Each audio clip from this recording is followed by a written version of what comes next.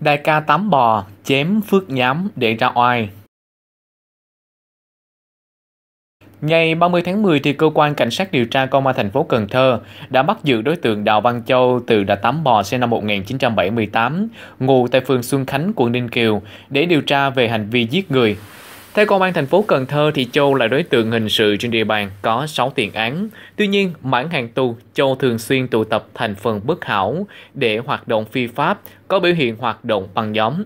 Khoảng 18 giờ ngày 24 tháng 10, vợ chồng Trần Mạnh Cường, Nguyễn Thị Huyền Trân tổ chức nhậu tại bàn, đường Bùi Thị Xuân, phường Thế Bình, quận Ninh Kiều. Buổi tiệc nhậu có Châu, Trần Quang Sang, Nguyễn Thanh Tân và một người tên là Bút trong lúc nhậu thì Cường nói tới chuyện giới giang hồ Sài Gòn. Nghe vậy Châu nổ thể hiện số má giới giang hồ. Sống làm sao cho người ta coi trọng anh, cờ út đáng tôi còn đâm. Tôi với Phước Nhám tức là Nguyễn Hữu Phước sinh năm 1969, ngụ tại phường Thới Bình, quận Ninh Kiều, chém nhau mấy lần. Sang động viên Châu lo làm ăn đường quay về đường cũ. Lúc này Bút nói nhà của Phước Nhám gần đây để kêu Phước lại nhậu cho vui. Bút đi lại mời Phước.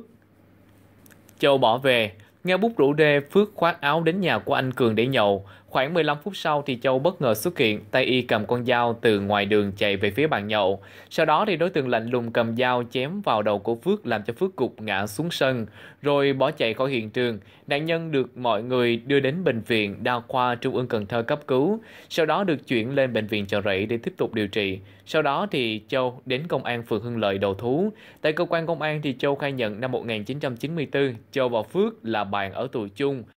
Mãi hàng tù, Phước thường tỏ vẻ đàn anh lấy số má giang hồ. Mỗi lần gặp Châu, Phước hay chửi và hâm chém Châu trước mặt đàn em, làm Châu mắc mặt.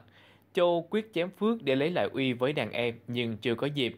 Nghe bút rủ Phước đến nhậu, Châu về nhà lấy hung khí, phát hiện Phước ở nhà Cường, Châu xông vào nhà của anh Cường chém Phước. Gây án xong thì đối tượng đón xe ôm chạy lên cầu Cần Thơ, ném dao xuống sông và về nhà.